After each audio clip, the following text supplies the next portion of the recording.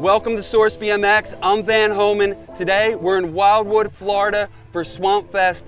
I'm here with BMX legend Ryan Biz Jordan. He's a two-time former world dirt jumping champion, and today we're gonna take a look at his S&M demolition build. All right, Ryan, so let's start with the frame. You're riding the S&M Mike Hoder BTM XL frame. It's got a little bit taller of a standover height. It's got a really responsive back end. Why don't you break down this frame for us and let us know what's important to you when choosing a frame? Honestly, everyone says this, but it's literally the best frame I ever rode. I love a huge box, you okay. know what I mean? And a tight back end. And tall head tube, so you don't need to cut your fork at all. Mm. And Hoder backs it. What what more can you do than that? You know? Yeah, like you said, plenty of room up front. Yeah, yeah. Responds quick in the rear end. You got no extra spacers in the head tube here. Super clean. Yeah, yeah. it's honestly my favorite frame I've ever ridden. Like what kind of, I mean, you kind of ride a little bit of everything, so you think it's just good for all around riding? Yeah, I don't, I don't like it too responsive, but it is responsive, okay. you know, if that makes sense. And then, so no, it's good for dirt jumps and also yeah, good yeah, for bunny yeah, hop whips. Yeah, exactly, yeah. yeah. I, I, can go down to Sheep Hills or I can go out and ride the parking lot. So yeah, yeah it works. So you do a hop whip every year on your birthday, right? Yeah, going on uh, year number 42 now. I started at 35. So you're 42 and you still got hop whips on lock. I, I guess next year's gonna next year's gonna be tough, but right. we'll see how it goes. yeah. All right, Biz, we've got the Demolition Kevin Peraza forks on here, 24 millimeter offset. Seems like kind of middle of the road, a little bit on the steep side. Is that the perfect balance to be able to do a Superman seat grab and a G-turn? I mean, for me, I'm not a front end guy at all. So whatever Peraza rocks is good for me. Right. I'm not really doing much on the front end, so I don't think it would make a difference for me, but if he rides it, I'm down with that. Yeah, so if it's good enough for Kevin Peraza, it's good enough for you. Exactly, All yeah. Right. All right, Biz, you've got the Demolition Fast and Loose collaboration handlebars. What rise are you running? Also, I hear you have an interesting way of uh, cutting your bars down. Break that down for us. Yeah, I think, I should know this. I think I'm 825. 825 is pretty small then. Am I? I don't. Is it? No, you're not. The bars. The bars no, no, no. I think it's 825. I'm not exactly sure, but okay.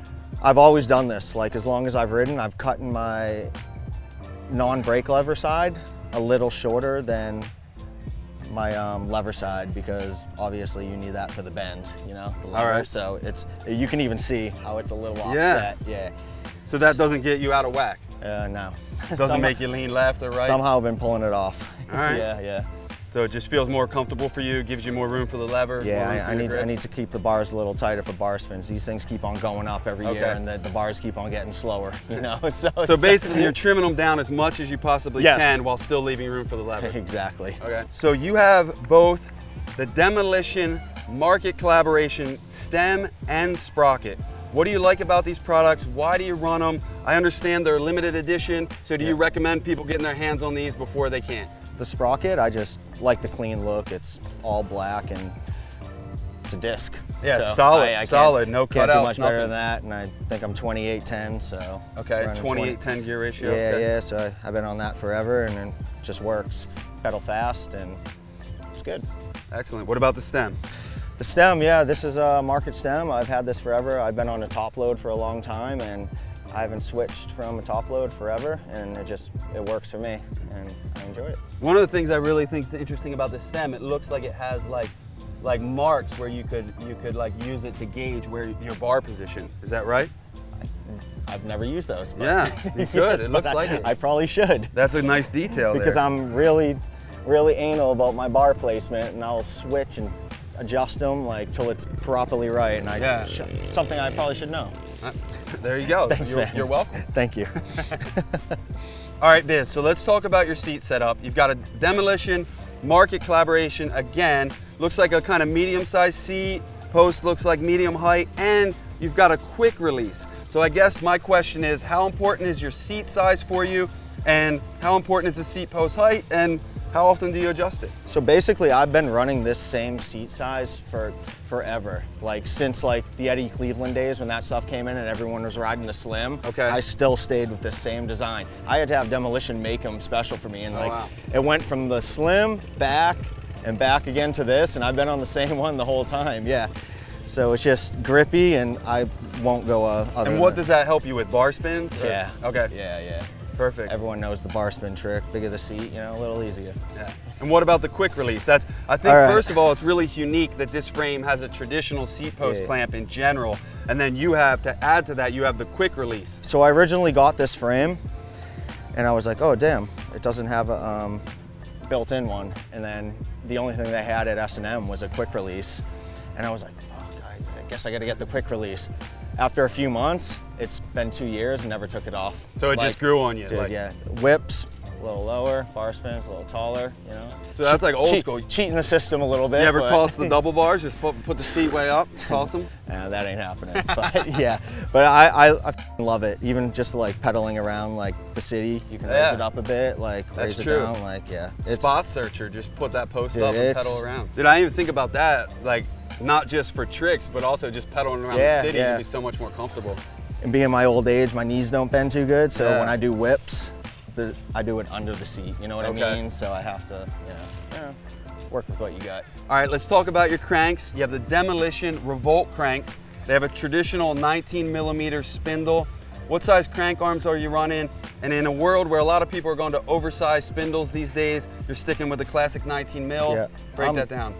I'm 170, and I, I honestly, I can't look down and see the huge fat one. I can't do Okay. it. Like this is what I've been on on my whole life, and I just can't look down. It looks so strange to me and awkward. Mm-hmm. Like, and I just love these. And these, honestly, I've probably had these cranks for three or four years. Okay. Like they've, yeah, they've stood up fine and. So just slim and classic and Yeah, still yeah. plenty strong for what yeah, you need. You know, like looks. I like to try and keep it like my old race bikes when I was a kid. Okay. And that's what that reminds me of. The, I'm not into the big fat one. It just looks too much for me. Got you. Yeah. Biz, I noticed you're talking about your old race days, but you have given in to the plastic pedal game these days. You've got the Mike Hoder pedals. I know Mike put a lot of thought into designing these. He's got the thicker pedal body and an oversized spindle to make sure they're really strong. What do you like about these pedals? Oh man, I've been on the plastic pedals for as long as, I, man, it's gonna be like 15 years now though, at least, you know? Like you think it isn't that long, but then you are on plastic pedals for that long and they're just, I feel like it hurts a little, little less when you hit the shins. All right, so you for know what I mean? hop whips. yeah, because I'm gonna get a few of those shins, you know? so hurts a little less and get them when you want, a lot cheaper. So a little bit more disposable. yeah, like exactly. Plastic pedals, but like and grinds, you always get that one side that wears off real quick, and then it's in- inexpensive to replace these. So that's Yeah. like the main factor, you know. But again, these are definitely a, a beefier plastic pedal, so kind of meant to take some abuse. Yeah, And yeah. like, how do they feel? Like just the traction? I know they. It's good. the- I feel like they're a little larger than most plastic pedals, Okay. so you get a little more room on your foot, and then yeah. So anything that Hoder rides, I'm backing that. All right. Yeah. All right, Biz, let's talk about your wheels. You've got the Demolition Rotator Free Coaster Hub. That's your signature free coaster hub. What went into the design of this and why do you choose a free coaster over a cassette? I, I, I put a free coaster on in 2007. I had knee surgery and I was just trying to mess around and Behringer gave me one. And I always wanted to ride one, but it was kind of like a quirky thing at the time. And I was like kind of scared to ride one, like didn't know what the response would be from the BMX community. But that was like 2007 and I had it on since and like I never took it off. Like I actually don't do much backwards stuff, but I just like the sound of rolling backwards with no noise and just quick rollouts without adjusting your feet. I think these ones last great, and I think it's one of the more affordable ones. It's priced really good, and you get what you pay for, and it lasts. So, all right, Yeah. good bang for your buck. Yeah. Biz, in these days, it's a little bit more rare to see brakes, but you've got the Demolition Vulcan brakes with the Odyssey medium lever. Um, why do you run brakes? What's important about your setup? It's classic. I love it. It just I, I use them all the time. It's I like to stop. so it's yeah I, I don't know you, you know me we, we're the same we run brakes it's Yeah. a, it's in our roots and I've had these brake pads on these demolition ones for probably six years definitely six years and I always ran black rims too and I've never had a problem Still it's- works. So Yeah. these things still work great with the chrome rims, black rims. yeah exactly yeah it's it's magic. All right, Biz, something that's unique about the Demolition Vulcan brakes as well, it actually has a sealed bearing in the brake, which is kind of unique. Does that help everything just be like, give a smooth pull? Oh, definitely. And then I actually notice that when I ride Sheep Hills, because that's probably the dustiest place on the planet, and riding trails that just gets in your shit. Oh, hey. you want to do a bike check? Fuck. Yeah. All right. And yeah, we got Today um, we're here we with got, White Helmet Guy. We're gonna take a look at his Colt. Yo, yo. Van Homan, fuck, can I get on? Yo, what's up? Yo, Biz, what's up, guys? Yeah, what up, man? Fuck yeah, sorry to spoil. Yeah. Sorry, sorry, man. Yeah. My bad. It's, Yeah. What do I you went think? right what. Oh, what do you God. think? What do you think of my bike? We're doing a bike check right now. Good shit. Can I give it a lap? Actually, my front Oh. wheel isn't tight. Please do not.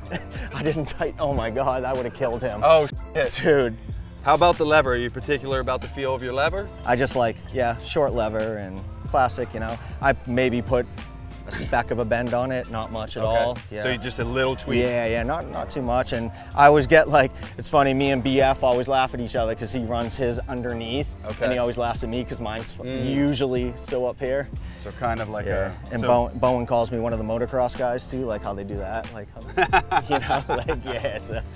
Biz, you've got the Demolition, Mike Hucker, Hammerhead tires. I know he's got a street version, he's got a trail version. Which ones are you running? What size and what tire pressure do you like? Um, I'm on the street version. I'm probably I 225, slimmer tire, grind faster. For tire pressure, I'm like 65, 70, which is a li- Okay. little more than most kids these days. You know, Yeah. like they like the soft ones, and I'm like, I feel like I lose pop on that, and I Yeah. love bunny hopping, but I feel like compressing, like you lose it a bit. You know what I mean? But I don't know. All right, Biz, let's talk about your pegs. You've got the Demolition, three force pegs. What size are you running? Why do you choose plastic? What are you grinding on these days? I mean, California is pretty easy with uh, spots, so it's not, you don't need metal. I don't think everything's pretty perfect and plastic holds up and I need all the help I can get these days to make myself go faster and grind longer. So I run plastic and uh, All right. yeah, it's been a, it's, it's been a long time on plastic, but it works. The hub guard goes perfect. It actually comes with my free coaster. So the hub guard comes with that, the plastic one, and then the pegs line up perfect. There isn't any gap between the dropout. It's just flush. All right, Biz, before we wrap this up, is there anything else the people need to know about this bike or the overall feel or setup of it? Yeah, I recently made a big change to my bike. It like something I didn't wasn't expecting, and it was like a huge thing. It was probably like uh, my friend gave me the best valve cap in the world. Oh, sh- It's it's uh, New England Patriots and um, Tom Brady forever, and Go he, Van? he, he, I thought he was on the Tampa Bay Buccaneers. uh, he's a Patriot. he's a Patriot. So we got the valve cap, and we're keeping it strong. I like that. That is good. I don't like the Patriots, but I do like that valve cap. All right, Biz, thanks for showing the people your S&M, BTM, Mike Hoder build. Everybody, go to the Source Bike Builder. There you can see everything Biz is riding. You can get pricing, spec, and availability. SourceBMX.com. Thanks, guys. Can you get me an Eagles one of those?